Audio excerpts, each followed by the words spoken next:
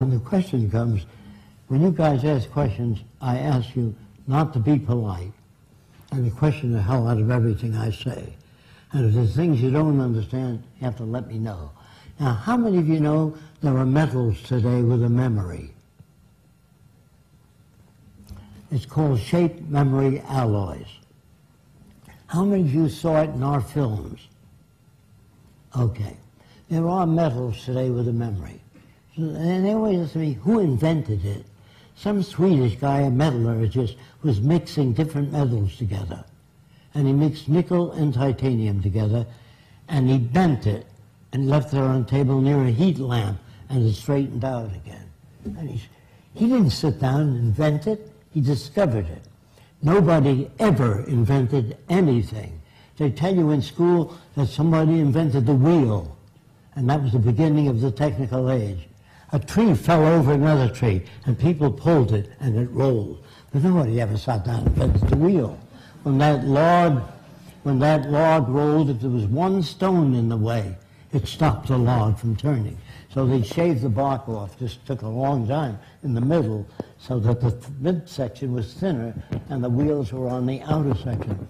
So nobody sat down and invented wheel or invented anything for that matter. Now, I said, uh, they invited me to speak at Princeton University, and the name of the subject, Man Can't Think of Reason. That made everybody angry in the university, because they all knew that men could think and reason. So a guy from the optics department said, I don't agree with you before I even said a word. I said, well, what is it that you don't agree with? He said, man can think and reason. I said, give me one example. He said, well, there was not a camera at one time and somebody had to think about it. Now in China, a thousand years ago, they, if you were in a dark building, there was a little hole in it, you saw people walking upside down on the wall. If you've been in a barn which is very dark and there's a knot hole in it, you'll see cows walking on the wall upside down if the sun's out and the barn is dark. That's where the pinhole camera came from. Nobody sat down and says, got to make a camera. Click. See? And now what about the negatives? Somebody had to make a negative. The American Indians used to take berry juice and squeeze it on mats they made for the floor of the wigwam. They'd squeeze blueberry juice, cherries, and so they get patterns. But if a leaf fell on the berry juice, you picked it off, there was a print of the leaf. That's where the print came from. And people walking barefoot in sand suggested the mold. You understand when you make a mold, you put something in it? Nobody can sit down and invent anything. The first guy that tried to fly died. Probably the first hundred guys that tried to fly died. So if you do medical research and you work for three years on cancer and he finds out what doesn't work, I read his book and two years later I come up with a little bit of an approach to cancer. I get a Nobel Prize, he gets nothing.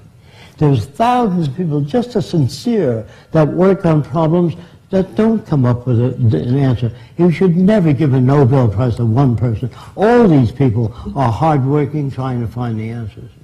So when you start giving out medals or jobs in a beauty contest, a girl gets an award.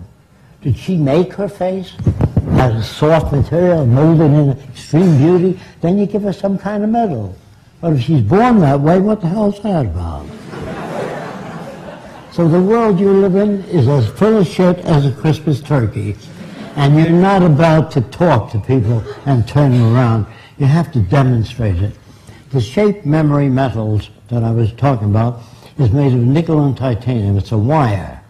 And if you took that wire and bent it in form so it spelled out Jesus Christ, put it on a table, put a hot lamp over it, straighten it up and put it on a table and go like that, and it'll go back to Jesus Christ. You can build a following with shape memory alloys if you want to.